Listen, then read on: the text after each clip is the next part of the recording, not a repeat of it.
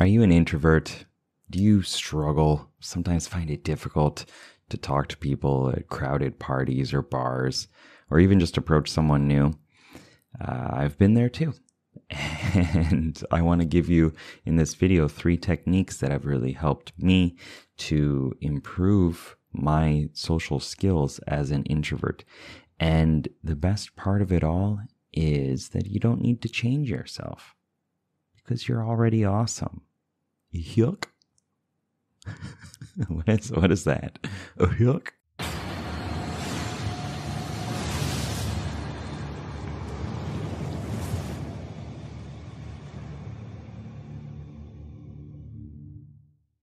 What's up, legend? It's Sherman here from Geek Psychology, where I help geeks, gamers, and creatives to have more confidence and motivation through understanding and leveraging your innate skills throughout your personality. And um, I've, oh, I've I've gone through a lot of uh, social struggle, um, and you know I'm I'm not like super bombastic, you know, outgoing, whatever it is. Um, I've definitely learn to embrace it more and learn to be more comfortable with it but it's not my my natural you know state um, so i want to give you some techniques for things that have helped me kind of get over that hump and just you know be able to socialize better which has helped me so much throughout my life with my well getting getting a wife and a kid, um, being doing this YouTube stuff, you know, meeting celebrities and and and just other people, making good friends along the way too. It's all been really helpful for doing that by understanding these techniques and improving my social skills. I had a, a quite a, an interesting journey, I suppose, when I was getting into um, seduction and socializing and that type of stuff because I was I was really really awkward in school, um, and then I moved to Japan when I was 18. And I didn't speak the language. I didn't know what to do in social situations either. And um, I was kind of I was treated as like a celebrity um, because when I moved to Japan, it was in 2003, and I was living in Kyoto uh, which is a very like traditional area, and there were just like not many foreigners there. Like we had our, our pictures on the uh, the train station. It was like th- these are the foreigners that we have, and it was like it was very odd. Like I remember like groups of schoolgirls and stuff. Like ah, it's a foreigner, ah, you know, and like that's that's quite uh, different than what I was used to. Um, and it kind of broke me out of my shell, but not completely. Um, I still had a lot of hesitation to to talk to people. Um, I didn't want to make mistakes linguistically, which I I do in English anyway, so it doesn't matter. Um, and and I just I didn't know how to express myself. I didn't even know who I was at the time. Like I was in Japan because I wanted to figure out more about myself. And so through just you know i'm, I'm going to speed it up but through a lot of going out and, and, forcing myself to be in uncomfortable situations forcing myself to go out to the clubs and bars and things like that forcing myself to go talk to people i learned a lot more about who i was as a person who i am as a person now and what to expect through social encounters. And um, it just it all kind of built in into this foundation of like I'll be okay. Whatever happens socially I'll figure it out you know uh, it's not going to kill me. I'm going to be okay. I'm not stuck in in like a, a, small town or anything like that. If you are then um, you're going to have to take that into account because there are some things that I'll be talking about later that are kind of tied into that. The first one that I want to talk about is what I call the alliance meter. Um, I've talked about this in, in another video that was more gamer focused, but basically, like imagine that each person you talk to has this like sliding scale of neutral to extremely friendly to hostile okay and your goal is to kind of calibrate to see where where they are within that and in order to do that uh, it's important to have interest in the things that they're doing um, you know, you want to to be intrigued by the other person. Right? People don't want to talk to somebody who doesn't want to talk to them or who's really uncomfortable around them. So like really get into like who is this person? What is this person doing? What does this person want? What are their aspirations? And how could I help them achieve those? And whether you do it or don't, think about like how how you could be a resource to help them, to help that person, to help them, um, you know, grow into a better person or fix their needs or whatever it is. And if you're already interested and curious, then it's going to make socializing a lot easier because you're asking more questions. You're not talking about yourself as much, right? You're just like, well, what is it like? How do you do that? What what are you interested in? Where are you planning to go next? What are you know, what are your dreams? And you don't need to like run in instantly and bombard them with a hundred questions. Don't recommend that. Um, but be curious. And curiosity unlocks the model, I believe was a, a John Grinder quote. Um, and that's that's so true with anything. Like if you're curious about it you can use more of your brain to access um, different resources and you know make things way better. So i highly suggest looking at it like an alliance meter. Like where are they? How do i improve it? How do i like uh, improve our relation within this and make this person like me more not by being inauthentic, but by being supportive for their goals. And you know, if they're a bad person, then well, whatever.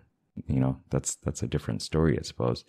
Uh, but at least you figure that out, and then you can pivot. And you can make other alliances. Number two, canned material.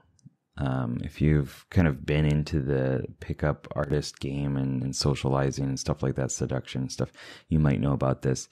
Um, this is just coming with like a, you know, a bunch of topics that you're comfortable with. Maybe some things to open up a conversation with.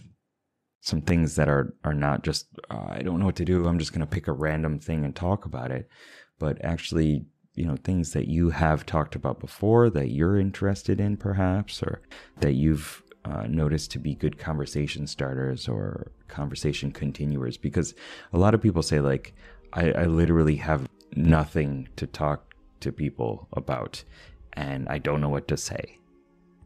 And this is already kind of covered in the previous example of you know the alliance meter and just being curious about them and asking them questions and trying to understand them and like this who is this alien being? Like let me try to figure out this person. Um, but if you come in kind of with uh, an assortment of tools then you're going to be able to better handle the situation. And like i don't know what to talk about. It's getting kind of quiet. Uh, what about this one? You know what about this thing? It's really helpful um, so that you just you can feel a little bit more relaxed. And this this comes through experience. This comes through you know doing research and stuff like that too i suppose um, but try it out. Try to to kind of take note of the things that you have talked about before or uh, that you could talk about into the future that will maintain a positive conversation. And the third one, number three, is to play a character or a part of yourself. Um, I know at the start I said, you know, you don't need to change who you are inside and you are awesome. And that's very true. And this playing a part, playing a character, think of it as as interacting with a different part of yourself. Um, I used to go out in costume, like in cartoon animal costume, in um, like Zoro from One Piece costume. Um, I was a tiger, a pink kangaroo, a schoolboy, all sorts of things, and it was it was hilarious because people always thought I lost a bet and that's why I was doing it. Um, but actually, it kind of made me more comfortable because I didn't have to go approach people because they would come to me. And that's great because then I like I'm already kind of like at a place of power and position. And then they could come and, and say, wow, what is that? Like, why, why are you wearing this? What's going on? Um, and it creates a lot more like banter and excitement through there.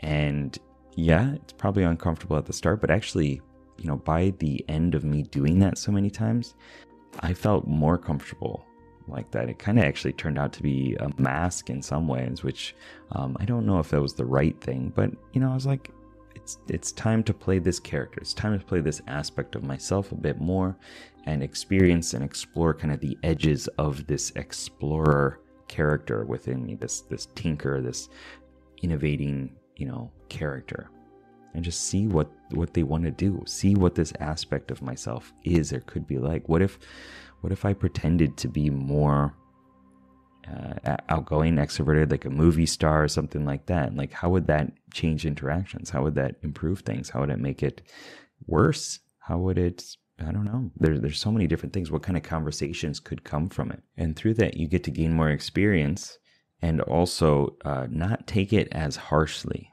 like whatever happens, well, I was just kind of playing this character right now. You know, I was just exploring. I was just uh, seeing what it would be like to act like this, to pretend I was this, to explore this part of myself.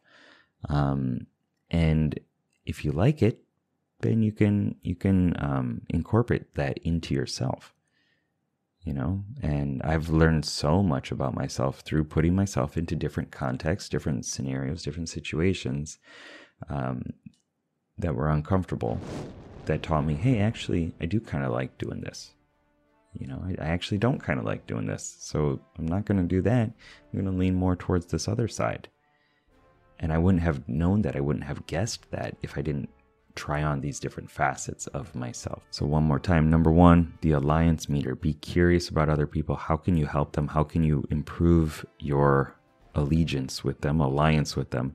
And number two, canned material, have something to talk about. You know, have a list of different ideas and topics that you're comfortable with talking about. And number three, to play a different facet or character or part of yourself and explore what that could be like.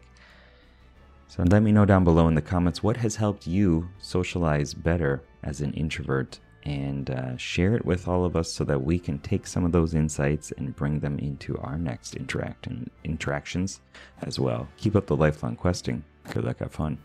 Peace. I'm clapping, I'm not fapping. I'll clap, no fap.